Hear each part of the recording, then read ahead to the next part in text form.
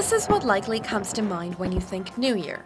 Because most people follow the Gregorian calendar, which has 365 days or 12 months in the year, January 1st is the New Year.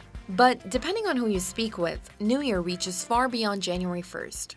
Chinese New Year, also known as the Lunar New Year and Spring Festival, is celebrated between January 21st and February 20th. Millions of people around the world celebrate the 15 day festival with friends and family, share a meal, wear traditional clothing, light fireworks, participate in colorful parades, and decorate their homes, neighborhoods, and streets with lanterns. Each year, Chinese New Year is dedicated to an animal that has its significance in the Chinese lunar calendar.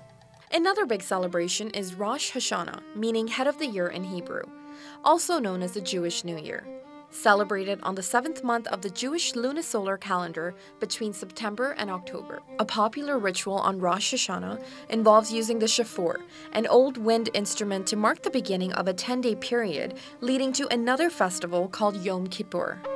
Nowruz is celebrated by over 300 million people worldwide, which is the Persian New Year and the 3,000 year old Iranian celebration marks the beginning of spring and is observed on either March 20th or 21st. You'll more than likely come across what's known as the Haftable, displaying at least seven items that include some form of sprout or grass for rebirth and renewal, dried fruit for love, apples for beauty and health, garlic for medicine and self care, a sweet pudding for wealth and fertility, vinegar for patience and wisdom, and a Persian spice for more sunrises. Thailand, people celebrate the Buddhist New Year with a three day water fight. What initially started off as people pouring water over Buddha statues. But people in Thailand aren't just soaking each other for fun, even though there's lots of that happening at the Songkran festival. Splashing water is meant to wash away bad luck from the previous year.